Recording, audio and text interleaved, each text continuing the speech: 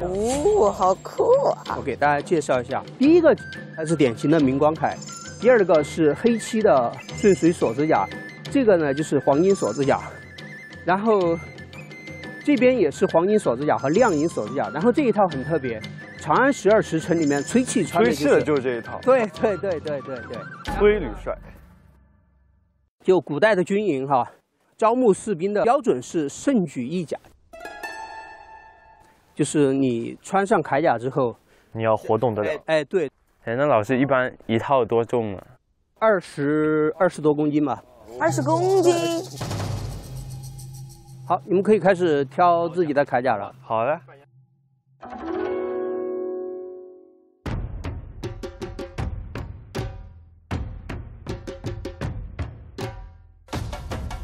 好，成了。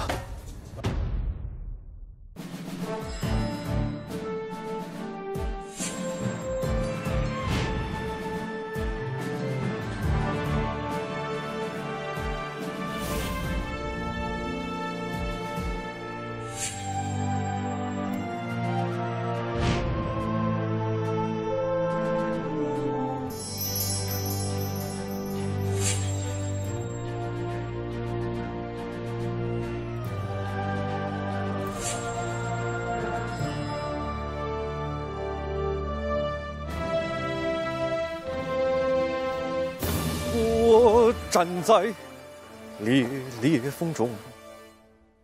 老师，四位新兵就入列。好，那走吧。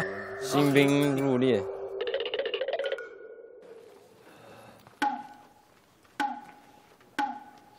准备好了吗？准备好了。准备好了。干嘛就准备好了？我们啥也不懂。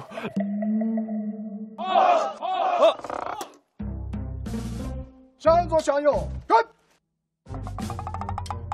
呃，这这，哎呀，等会儿，没没对。上上。哎哎呦，对不起对不起，哎，对不起，这该怎么搞？上。二。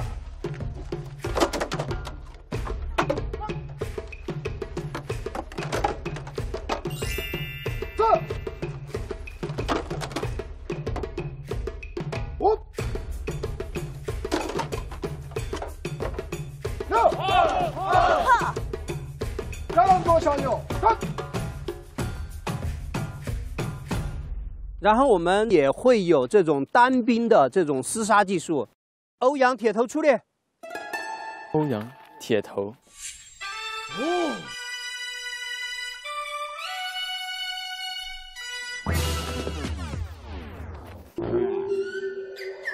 单兵格斗训练开始。真打呀！开始。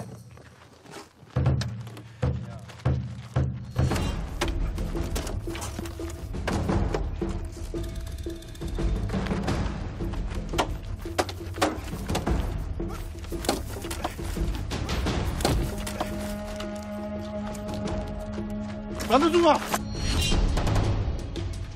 拦得住吗？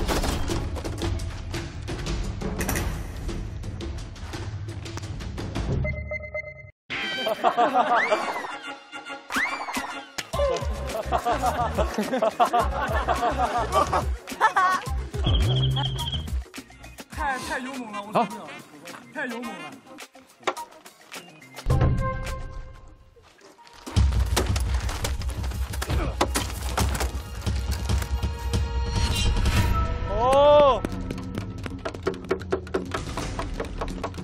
哦。老师，我们可以自己来试一下吗？可以，注意安全，好就稍微轻一点。然后这一场打完，你们就是合格的新兵了。好。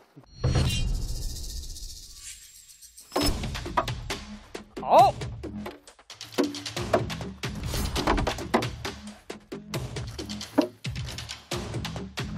你是和我有有有一点仇的，对。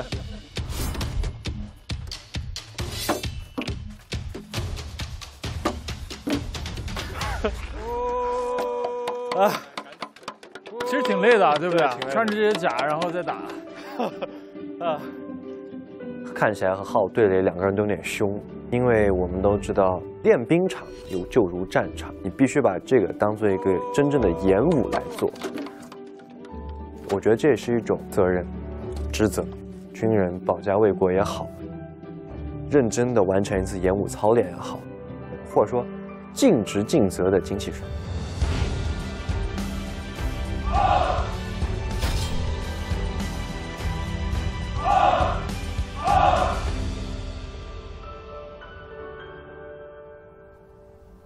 季老师，啊老师好，你训练的怎么样？合格了没有？我们就简单的学了两招，但是我觉得感觉确实也挺不容易的。现在来的这个地方呢，就是我们按照历史记载仿建的一个啊古阳关，它是一个管理丝绸之路的一个关口。这个上面呢还要站岗放哨，我们叫侯望。